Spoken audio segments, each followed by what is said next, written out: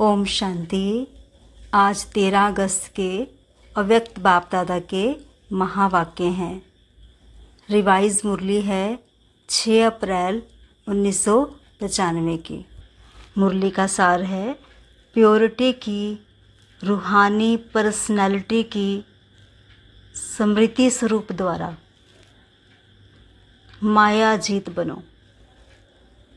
Purity की रूहानी personality की स्मृति स्वरूप द्वारा माया जीत बनो। तो आज स्नेह के सागर, बाप दादा चारों ओर के सर्व स्नेही बच्चों को देख रहे हैं।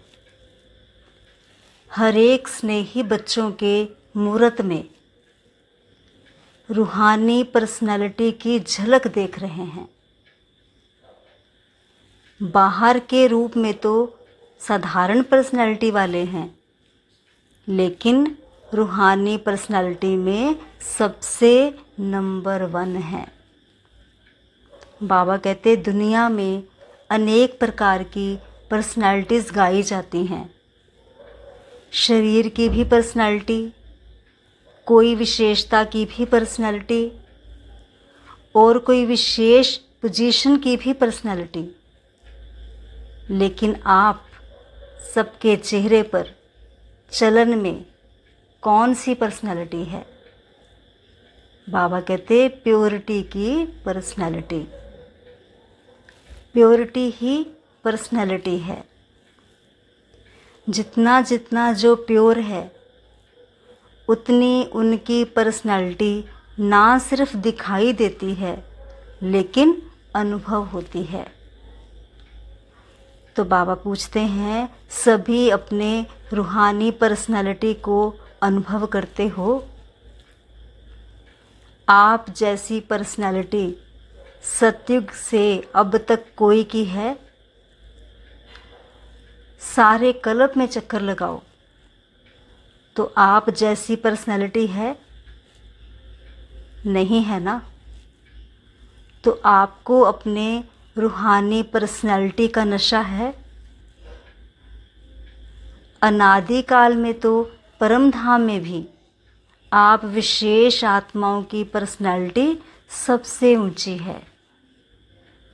चाहे आत्माएँ सब चमकती हुई ज्योति हैं, लेकिन आप रूहानी पर्सनैलिटी वाली आत्माओं की चमक अन्य सब आत्माओं से न्यारी और प्यारी है। तो बाबा कहते, अपने अनादिकाल की पर्सनैलिटी को स्मृति में लाओ। तो आई स्मृति में।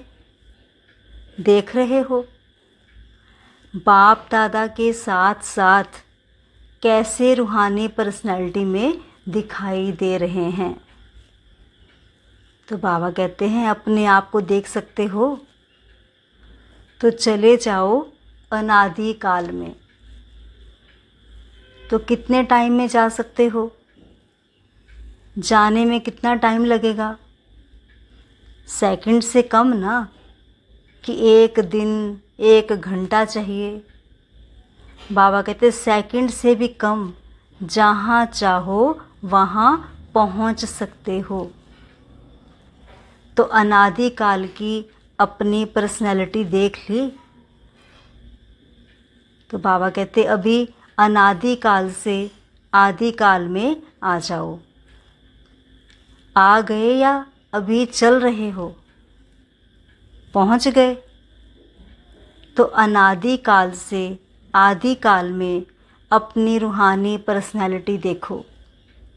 कितनी श्रेष्ठ पर्सनालिटी है। तन की भी तो मन की भी तो धन की भी और संबंध की भी। सब प्रकार की पर्सनालिटीज़ कितनी श्रेष्ठ हैं। तो आदिकाल की पर्सनालिटी देख रहे हो? कितने सुंदर लगते हो? कितने सजे हुए हो? कितने सुख, शांति, प्रेम, आनंद स्वरूप हो? तो आदि काल में भी अपनी पर्सनैलिटी को देखो। स्पष्ट दिखाई देती है, या पाँच हज़ार वर्ष हो गए तो थोड़ा स्पष्ट नहीं है। बाबा पूछ रहे हैं, सभी को स्पष्ट है? होशियार हो सभी। तो आदि काल भी अपना देख लिया। अभी आओ मध्य काल में तो मध्य काल में भी आपकी पर्सनैलिटी क्या रही? आपके जड़ चित्र कितने विधि पूर्वक पूजे और गाए जाते हैं? चाहे कितने भी धर्मात्मा, महात्मा, नेताएँ पर्सनैलिटी वाले गाए जाते हैं, लेकिन आपके जड़ चित्रों की पर्सनैलिटी के आगे उनकी पर्सनैलिटी कुछ भी नहीं है। जैसे आप सबकी पूजा होती है, वैसे कोई महात्मा या नेता की, धर्मात्मा की विधि पूर्वक पूजा होती है। कभी देखी है? आपके जड़ चित्रों जैसे श्रृंगार किसका होता है? तो बाबा कहते मध्य काल में भी आप आत्माओं के प्योरिटी की पर्सनालिटी की विशेषता कितनी श्रेष्ठ है? तो अपना चित्र देखा। आपकी पूजा होती है कि नहीं? सिर्फ़ बड़े बड़ों की होती है, हमारी नहीं। डबल विदेशियों के मंदिर हैं। देखा है, उसमें आपका चित्र है कि सुना है तो कहते हो कि हाँ होंगे। तो बाबा पूछते हैं, स्मृति में है तो मध्य काल भी आपका अति श्रेष्ठ है और लास्ट जन्म में जो मर जीवा ब्राह्मण जन्म है, उसकी पर्सनालिटी देखो, कितनी बड़ी है। गायन कितना है। कोई भी श्रेष्ठ कार्य अब तक भी आपके नामधारी ब्राह्मण ही करते हैं। चाहे ब्राह्मण अभी ब्राह्मण रहे नहीं हैं, लेकिन नाम के तो ब्राह्मण है ना? तो आपके नाम से, आपकी पर्सनैलिटी के कारण वो भी श्रेष्ठ गाए जाते हैं। तो ब्राह्मण जन्म की पर्सनैलिटी कितनी श्रेष्ठ है? आदिकाल, अनादिकाल, मध्यकाल और अब अंतकाल। सारे कल्प में आपकी पर्सनैलिटी सदा ही महान रही है। बाबा कहते हैं, लौकिक पर्सनैलिटी वालों का अगर नाम भी आता है तो कोई विशेष बुक में उन्हों का नाम आता है कि फ़लाने फ़लाने हैं। लेकिन आपका नाम किसमें आता है? साधारण बुक में नहीं आता है, शास्त्रों में आता है। जो भी आदिकाल से शास्त्र बने, उसमें किसके चरित्र हैं? किसका गायन है? किसकी कहानियाँ हैं? तो लौकिक पर्सनालिटी वालों का गायन विशेष बुक में होता है और आपका गायन शास्त्रों में होता है। और शास्त्रों को कितना रिगार्ड देते हैं? बड़े विधि पूर्वक शास्त्र को संभालते हैं। उसको भी बड़े पूज्य के रूप में देखते हैं। जो सच्चे भक्त हैं, वो शास्त्र को विधि पूर्वक रखते भी हैं और पढ़ते भी हैं। बाबा कहते, ऐसे रिवाजी किताबों के माफिक नहीं रखते। तो अपनी पवित्रता की पर्सनैलिटी को सदा ही इमर्ज रूप में स्मृति में रखो। बाबा पूछते हैं, जानते हैं या हैं तो हम ही। ऐसे मर्ज नहीं, स्मृति स्वरूप में रखो। जिसके बुद्धि में ये इमर्ज रूप में स्मृति रहती है तो स्मृति ही समर्थी का आधार है। और जहाँ समर्थी है, वहाँ माया आ सकती है। समर्थ आत्मा के पास माया का आना असंभव है। मेहनत करने की आवश्यकता ही नहीं है। माया का काम है आना, लेकिन आपका काम अभी समय प्रमाण भगाना नहीं है। माया आई और भगाया, बाबा कहते नहीं, आपका काम है सदा माया जीत रहना। तो माया जीत हो या माया को बार बार भगाने वाले हो? अभी भगाना पड़ता है थोड़ा थोड़ा वो दर्शन देने के लिए आ जाती है। तो बाबा कहते, नहीं ना डबल फॉरनर्स ने माया को सदा के लिए भगा दिया। या भगाते ही रहते हैं। क्या हाल है? माया सदा के लिए भाग गई। अभी नहीं आएगी ना? कि थोड़ा थोड़ा आए, कोई हर्जा नहीं। फिर भी आधा कल्प की दोस्ती है फ्रेंड है ना? उसको ऐसे ही छोड़ देंगे। बाबा कहते, माया, आवे ही नहीं। सुनाया ना कि समय समाप्ति होने के पहले बहुत काल का मायाजीत बनने का अभ्यास चाहिए। अंत में नहीं हो सकेगा। अगर अंत में मायाजीत बनने का पुरुषार्थ भी करेंगे तो क्या हाल होगा? बाप दादा तोते की कहानी सुनाते हैं ना, कि तोते को कहा नल के ऊपर नहीं बैठना, पर नल के ऊपर बैठकर ही बोल रहा था। तो ऐसे ही अंत काल में अगर बहुत काल का अभ्यास नहीं होगा तो मन में सोचते रहेंगे कि मैं आत्मा हूँ, मैं आत्मा हूँ, लेकिन माया का प्रभाव भी होता रहेगा। और कोशिश भी करेंगे, मैं आत्मा हूँ, मैं आत्मा हूँ, लेकिन होगा ही नहीं। इसलिए क्या करना है? अभी से मायाजीत बनने का अभ्यास करो।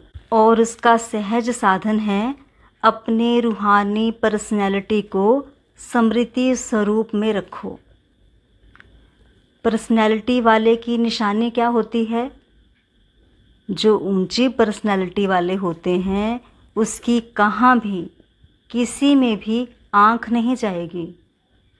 ये ऐसा है ये ऐसा है, ये ऐसा करता, ये ऐसे करती, मैं क्यों नहीं करूँ, मैं क्यों नहीं कर सकती हूँ या कर सकता हूँ? तो बाबा कहते, दूसरे के प्राप्ति में आँख नहीं जाएगी। क्यों? रूहानी पर्सनैलिटी वाला सर्व प्राप्तियों से संपन्न है। स्वभाव में भी संपन्न, संस्कार में भी संपन्न और संबंध संपर्क में भी संपन्न, भरपूर। वो कभी अपने प्राप्तियों के भंडार में कोई अप्राप्ति अनुभव ही नहीं करेगा। क्यों? रूहानी पर्सनैलिटी के कारण वो सदा ही मन से भरपूर होने के कारण संतुष्ट रहता है। आँख दूसरे की प्राप्ति में तब जाती है जब अपने में अप्राप्ति अनुभव करते हो। तो बाबा पूछते हैं, कोई अप्राप्ति है क्या? गीत गाते हो, अप्राप्त नहीं, कोई वस्तु ब्राह्मणों के खजाने में। ये गीत मुख से नहीं, मन से गाते हो ना? जो गाते हैं, वो हाथ उठाओ। अच्छा डबल विदेशी भी गीत गाते हो। अच्छा तो आगे बाबा कहते, बाप दादा, आज चारों ओर के बच्चों की प्योरिटी की पर्सनैलिटी चेक कर रहे थे। प्योरिटी की परिभाषा को भी अच्छी तरह से जानते हो। प्योरिटी सिर्फ़ ब्रह्मचर्य व्रत नहीं, ब्रह्मचर्य व्रत में तो आजकल के सरकमस्टांस अनुसार कई अज्ञानी भी रहते हैं। ज्ञान से नहीं, लेकिन हालातों को देखकर। कई भक्त भी रहते हैं। वो कोई बड़ी बात नहीं है। लेकिन प्योरिटी को सारे दिन में चेक करो तो बाबा कहते, पवित्रता की निशानी है स्वच्छता, सत्यता। अगर सारे दिन में, चाहे उठने में, चाहे बैठने में, चाहे बोलने में, चाहे सेवा करने में चाहे स्थूल सेवा की या सूक्ष्म सेवा की, लेकिन अगर विधि पूर्वक नहीं की, विधि में भी अगर जरा सा अंतर रह गया तो वो भी स्वच्छता अर्थात पवित्रता नहीं। व्यर्थ संकल्प भी अपवित्रता है। क्यों? आप सोचेंगे कि हमने पाप तो किया ही नहीं, किसको दुख तो दिया ही नहीं लेकिन अगर व्यर्थ चला, समय गया, संकल्प गया, संतुष्टता गई तो आपके पवित्रता की फाइनल स्टेज के डिग्री में फ़र्क पड़ जाएगा। सोलह कला नहीं बन सकेंगे। पंद्रह कला, चौदह कला, साढ़े पंद्रह कला नंबरवार हो जाएगा। तो बाबा कहते हैं, अपवित्रता सिर्फ़ किसको दुख देना या पाप कर्म करना नहीं है, लेकिन स्वयं में सत्यता, स्वच्छता विधि पूर्वक अगर अनुभव करते हो तो पवित्र हो। निकल गया, बोलना नहीं था, लेकिन बोल लिया तो इसको क्या कहेंगे? मालिक हैं। इसीलिए अमृत वेले से लेकर रात तक अपने संकल्प, बोल, कर्म, सेवा सबको चेक करो। मोटे रूप से नहीं चेक करो। अगर मोटे रूप से चेक करेंगे तो देखो चंद्रवंशी को मोटी निशानी तीर कमान दिया है और सूर्यवंशी को कितनी छोटी सी मुरली दे दी है। मुरली कितनी हल्की है और तीर कमान कितना मेहनत का है। पहले तो निशाना लगाते रहो, दूसरा बोझ उठाते रहो। और मुरली देखो, नाचो, गाओ, हंसो, खेलो। तो इसीलिए मोटे मोटे रूप से ना पुरुषार्थ का रखो, ना चेकिंग का रखो। बाबा कहते, अभी महीन बुद्धि बनो। क्योंकि समय समाप्त अचानक होना है, बताकर नहीं होना है। बाप दादा ने तो पहले ही कह दिया है कि कोई उलहना नहीं देना, कि बाबा आपने बताया क्यों नहीं। बाप कभी भी टाइम कॉन्शियस नहीं बनाएगा। अभी पूरा डायमंड बनना है ना? ये वायदा किया है ना? डायमंड जुबली मनानी है या डायमंड बनना है? क्या करना है? बनना भी है और मनाना भी है। दोनों साथ साथ करना है। तो बाप दादा अगले वर्ष में चेक करेंगे। वायदा निभाया या सिर्फ़ मुख मीठा किया? तो बाबा पूछते हैं तो कौन हो? सिर्फ़ बोलने वाले हो या निभाने वाले हो? अच्छा देखो टीवी में आप सबका फ़ोटो आ रहा है। फिर बदल नहीं जाना। मैं था ही नहीं। मैंने नहीं कहा था। तो बाबा कहते, बनना तो अच्छा है ना? तो जो अच्छी बात है, उसको जल्दी करना चाहिए या देरी से? जल्दी करना चाहिए ना? आगे बाबा कहते सेकंड में एवर रेडी बन सकते हो। सेकंड में अशरीरी बन सकते हो। कि युद्ध करनी पड़ेगी कि नहीं, मैं शरीर नहीं हूँ, मैं शरीर नहीं हूँ। बाबा कहते, ऐसे तो नहीं ना। सोचा और हुआ। सोचना और स्थित होना। तो बाप दादा ने कुछ मिनटों तक ड्रिल कराई। तो बाबा कहते अच्छा लगता है ना? तो सारे दिन में बीच बीच में ये अभ्यास करो। कितने भी बिज़ी हों, लेकिन बीच बीच में एक सेकंड भी अशरीरी होने का अभ्यास अवश्य करो। इसके लिए कोई नहीं कह सकता, मैं बिज़ी हूँ। बाबा कहते, एक सेकंड निकालना ही है, अभ्यास करना ही है। अगर किसी से बातें भी कर रहे हो, किसके साथ कार्य कर रहे हो तो उन्हों को भी एक सेकंड ये ड्रिल कराओ, क्योंकि समय प्रमाण, ये अशरीरीपन का अनुभव, ये अभ्यास जिसको ज़्यादा होगा, वो नंबर आगे ले लेगा। क्योंकि सुनाया कि समय समाप्त अचानक होना है। अशरीरी होने का अभ्यास होगा तो फ़ौरन ही समय की समाप्ति का वाइब्रेशन आएगा।